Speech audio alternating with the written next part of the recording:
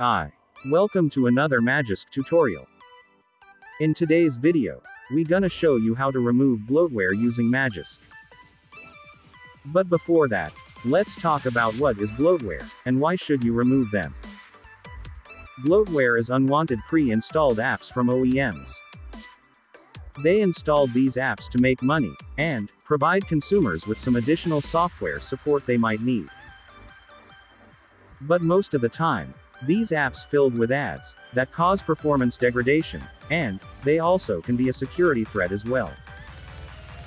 No one wants their devices to get slow, and, eating up space in storage from apps they never gonna use.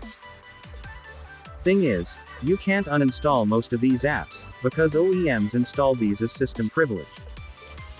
So you need to root your device to have access to these apps. So, let's see how to remove bloatware from your Android device. First, open the Magisk Manager, and go to Module tab. You need to install two modules. First search for debloater, and install debloater module.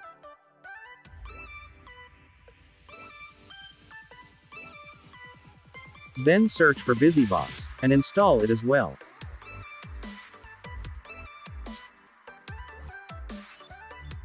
Now press the reboot button to restart your device. Then download the Terminal Emulator app from Play Store. Open the Terminal Emulator, and type SU and press enter. Then type debloat and press enter. In this page, you have some options to choose, but to remove bloatwares, you only need the first five options. Type 1 and press enter to access the first option, System Apps. Now in this list, find the apps that you want to remove, and type the number of that app, as given in the list, then press enter. But most of these apps aren't bloatwares, but essential to your device. So careful not to remove any system apps that can cause to brick your device. You can remove multiple apps at once by type multiple app numbers in column. Example. Say you wanna remove 1 and 2, then type 1 space and 2. After you choose what apps you wanna remove, press enter. Then type Y and press enter to confirm.